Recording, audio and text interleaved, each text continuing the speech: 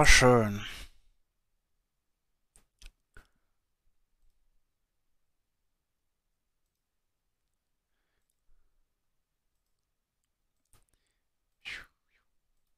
Dann lasse ich mal gerade mal noch einen Follower bei dir, weil wenn du nächstes Mal dann wieder da bist, dann schnupper ich auch mal gern mal bei dir vorbei.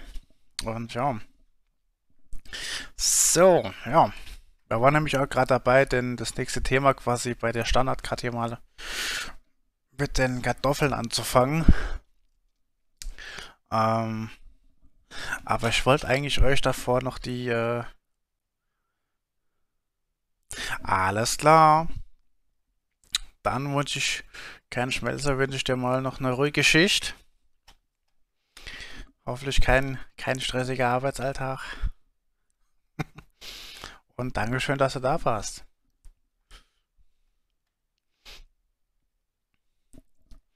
So, ähm, genau, ähm, Kartoffel war nämlich das Thema, genau. Ähm, und ich wollte auch nicht so viel quasi Geld da raushauen.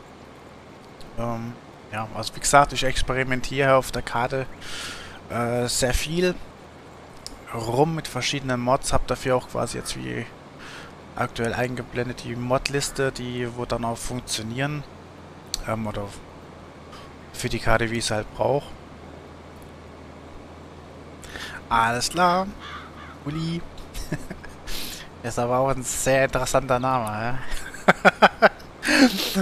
ähm, dann wünsche ich dir auch auf jeden Fall äh, schönen Nachmittag. Schön, dass du da warst. So.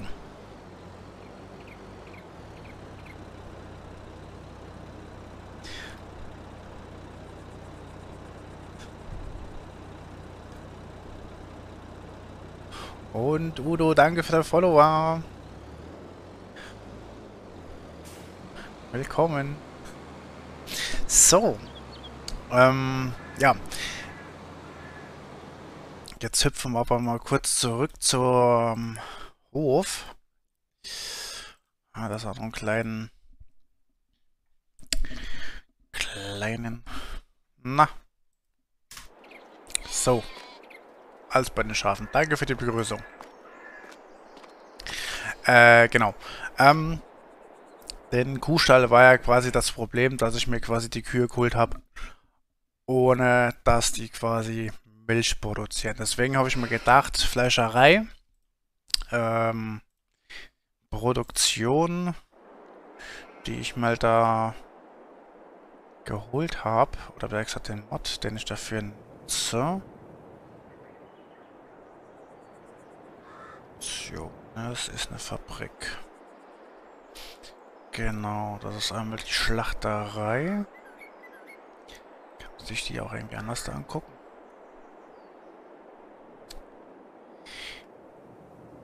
Grüß, Grüße, moin moin, hi. Schön, dass du da bist. Willkommen. Ähm. So.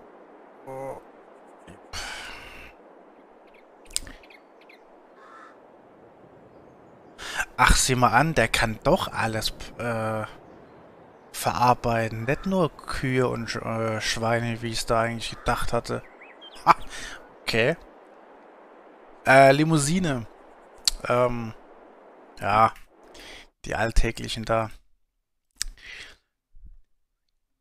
Das sind quasi nur die äh, Mast, Mastviecher, die Mastrinder. Und ähm, weil ich versuche aus vielen Produktionen, also quasi, ne, man nennt ja das Agipack, äh, wo du Weizen zu Saatgut umwandeln kannst. Jetzt hier quasi das, ähm, die Gülle, Stroh, Gülle, Mist, alles was da am Abfallprodukten quasi rauskommt, äh, eigene Düngerherstellung zu äh, produzieren. Also ja, so ein paar eigene Kreisläufe quasi zu erstellen. Ne? Und das alles so auf einem normalen Schwierigkeitsgrad. Ne? Also ja.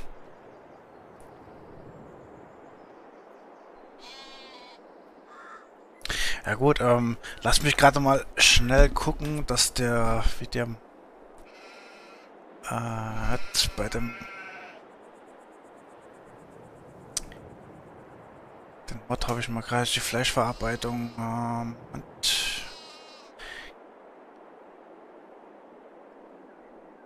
genau, und das war nämlich der Schlachter bei, äh, bei Ikes. Das war der Mod, den ich mir runtergeladen habe. Dankeschön für den Follower, Chris. Ja, aber selbst wenn 3000 sind 3000, also wie gesagt, ähm, für die, für die...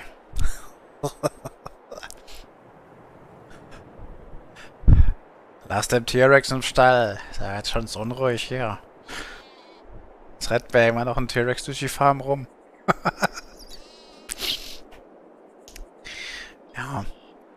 Ja gut, aber jetzt habe ich die Kühe, jetzt muss ich sie, jetzt muss ich sie halt auch irgendwie weiterverwerten, verstehe ich. Und deswegen habe ich mir gedacht, probieren wir mal den Mod halt quasi aus. Und wie gesagt, äh, wenn das Geld dann dazu reicht. Ähm, aber schön, dass das alles quasi verarbeiten kann. Für 120.000. Ja. Finde ich das jetzt gerade mal ein bisschen, äh, naja, so ein bisschen habe ich, aber ja, komm. Wir wollen uns ja nicht beschweren.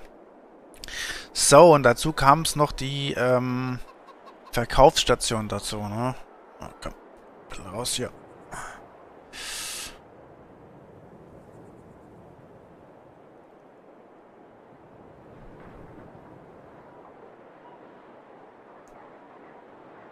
Oh. Kann man eigentlich auch nichts sagen. Da dürften auch bald ein paar Felder dazukommen, aber was ist... Ach, ein Supermarkt gibt es auch noch dazu.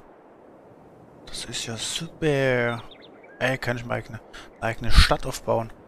Auch gut. Das ist gut. Gut. Dann passt das ja. Geht's ja nach der Reihe. So, aber ich glaube, ich werde mir noch einen unseren Tracker, Traktor schnappen, dann wird man den anderen Feld da noch ein bisschen grubbern, dass man noch ein bisschen was zu tun habe. Ja, das stimmt. Das sind, sind einige dabei. Also ich habe mir heute Morgen noch ein ähm,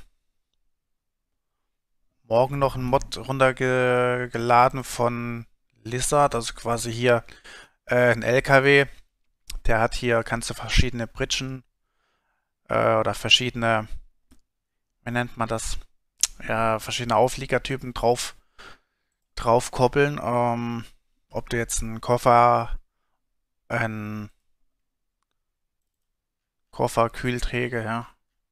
Das ist quasi der Mod hier. Einmal der LKW, flache Körper, eine Kühlbox, äh, ja.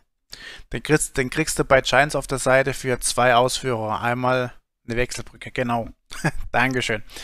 Ähm, einmal mit Scania und einmal von Lizard. Ich habe mir quasi jetzt einmal den Lizard da geholt und das wird auch schon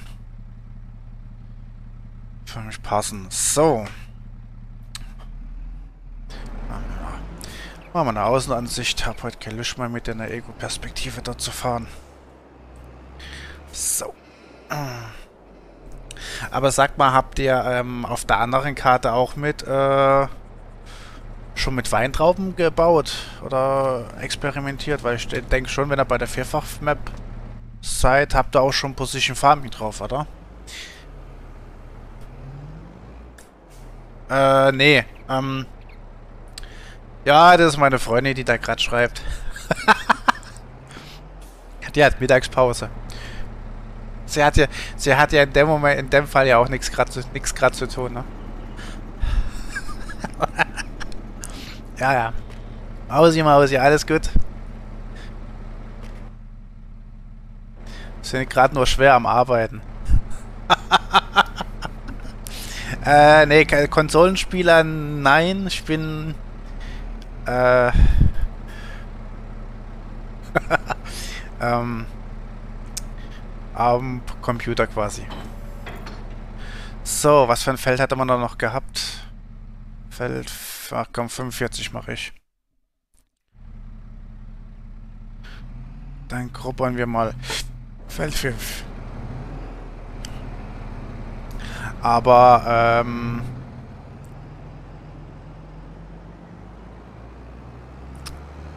Gerne Konsolenspieler sind auch, wie gesagt, bei mir auch gerne gesehen. Äh, okay. Vielleicht solltest du auch mal die Hydraulik anschalten. Na, da wird's auch gehen. Entschuldigung, Leute. Es kommt davon, wenn wir schon seit oh, heute Morgen um 23 Uhr wach ist, bei Pavel auf der Farm noch mitmacht und dann noch seine versucht sein eigenes Ding da noch mitzuziehen. also vor allem die, wo jetzt äh, bei Pavel ähm, mein ist ähm, der Bäckermeister Knutste. Ist bei mir eigentlich auch vorne auf der Seite verlinkt, also wie gesagt, ähm, die zocken auf der Karte Osada, die auch sehr, sehr schön, also wie gesagt, ähm, Osada, die Karte äh, Ost, osteuropäisch. Sehr schön, also selbst der Friedhof nachts bei jedem dritten dritten Grab leuchtet da so eine kleine Kerze, also ist richtig... Hab nicht gewusst, dass... Also hab nicht so... Ach, wie nennt man das?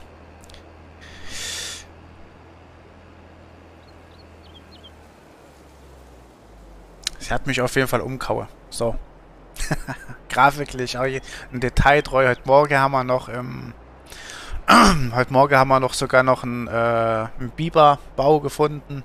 Also, wie gesagt, da werden wir auch noch morgen, oder wie gesagt, heute Nacht, wenn Zeit. Tee und Kekse. Hm. Lass mich mal raten glaube dafür für müssten wir eigentlich wieder ein Emote machen, ne? Also Keks und Tee Emote. Oder am besten so ein so ein äh, ja so ein Sound Alert, ne? Mit, mit, mit einem Keks, der bricht und einem Tee. So British Tea, Tea Cake Time. ich glaube, da machen wir so ein Alert raus. Hast mich wieder auf eine gute Idee gebracht. So, gib mal mal Gas. So, ja, ja. Was mache ich? Ich fahre bestimmt wieder an die falsche Stelle. Ach nee, da komme ich noch rüber. Ah. Aber es ist schön, wenn du dich ja wohlfühlst. Das freut mich. Dann mache ich was richtig.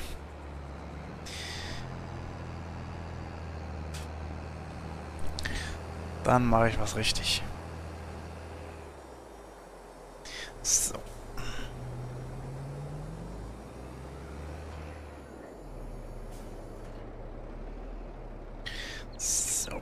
Uh, gut, dann haben wir den Allrad an. Äh, runter und gib ihm.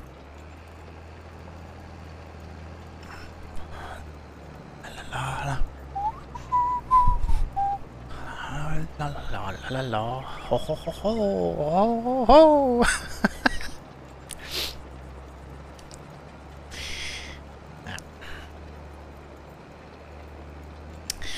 Das ist toll. Das gefällt mir. Ja. Also wie... Eigentlich wollte man schon am Silvester die, äh, ähm, wie heißt's? Meine Güte, die Holzfarm vom Platin WLC mal anzocken, aber das ist ein, ich glaube, da ist, machen wir daraus mal, also ich wollte daraus ein Multiplayer-Projekt machen, aber es kam bis heute noch dazu. Aber wie gesagt, äh, das Singleplayer-Projekt, das ist halt so, du suchst, du kommst, du gehst bei anderen Leuten in den Stream rein, ach guck mal, der Mod, dann hast du hier wieder was gefunden. Im Text ein bisschen mit denen Leuten darum. Ja, jetzt Position Farming, wo ich heute Morgen oder jetzt seit zwei Tagen, wie gesagt, wo ich bei Pavlo auf der ähm, Osada mithelfe. Genau, genau. Ähm. Ja, und habe dann eben die ersten zwei Tage mit dem Farm da die Erfahrung noch quasi gesammelt. Fand ich gar nicht mal so schlecht. Also ist sogar ein Tick besser dargestellt als beim 19er, wenn ich das jetzt mal äh, sagen darf. Aber dass es gute Laune ist, dafür lege ich meine Hand dafür ins Feuer, weil das will ich auf jeden Fall, dass das hier so ist. Gute Laune an den Tag, also ab und zu würde jetzt meine andere Webcam nicht irgendwie den Geist aufgegeben haben, letzten Jahres, dann hätte man auf jeden Fall was zu lachen. ja. Aber naja. Für die Mittagspause machen wir gerne mal eine gute Laune. Vor allem, vor allem da mal abgesehen, ähm, dass ich echt am überlege bin, wirklich das alles auf Vollzeitstreamer zu machen. Ich spiele schon äh, Für mich wird es sich halt lohnen.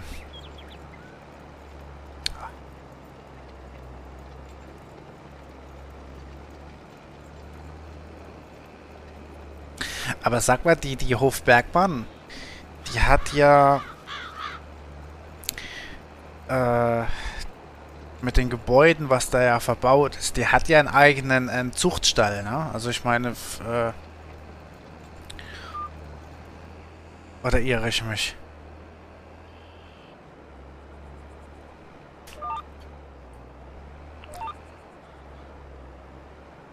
Alles klar, Chris. Dann vielen Dank, dass du da warst.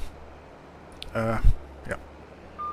Ich fahre ja gerade ohne mal den Grubber zu senken.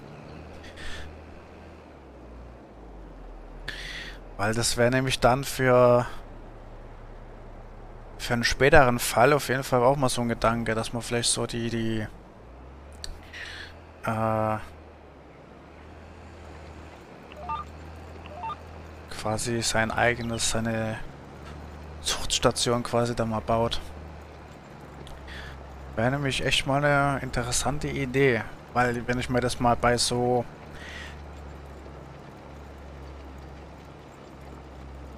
bei, bei Fat Action da mal angucke. Aber wie gesagt, Hof Bergmann, das ist halt, steht bei mir auch noch auf der Liste, dass man das mal angucken. Aber zurzeit gucke ich da auch sehr gerne den Agrarplay der sich da auch mit den ganzen Getriebearten, dass sich da mal beschäftigt. Vom 19 her habe ich den schon damals eigentlich schon geguckt. Also wie gesagt, da auch selber dann mal über den VCA-Mod da mal ereignet, also oder mal ausprobiert. Das heißt, wirklich mal bei den äh, Fahrzeughändler auf die Seite geguckt, die PDF-Datei runtergeladen, was das für Maschine Verhalten ist.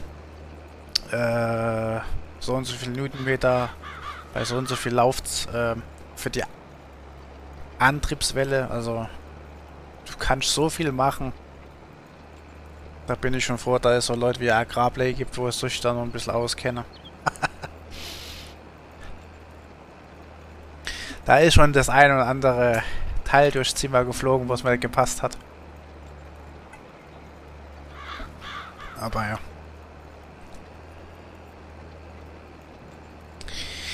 Ja, aber wie gesagt, jetzt machen wir erstmal den, den großen Kartoffel, Kartoffelmann da.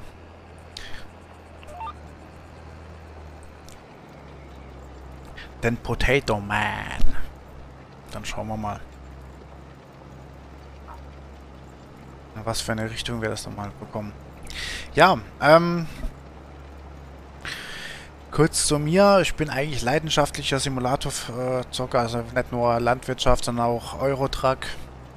Jetzt kam vor, am 23.01. ist ein neues Projekt, also eine Erweiterung rausgekommen. Ähm, für die Leute, die auch gerne das Spiel mal kennenlernen oder für Neulinge, wie auch, wie auch immer. Wie gesagt, eine kleine Spedition, virtuelle Spedition habe ich da fahre hauptsächlich gerne Plane, aber jetzt da der Feldbinder DLC bei SCS rauskam, sind wir da ein bisschen am expandieren, äh, ADR-Fahrten zu machen. Ähm, möchte natürlich auch da in der Hinsicht irgendwann ähm, ja, bisschen im Konvoi fahren können. Also für die einfach, die ein bisschen Lust haben. Ähm,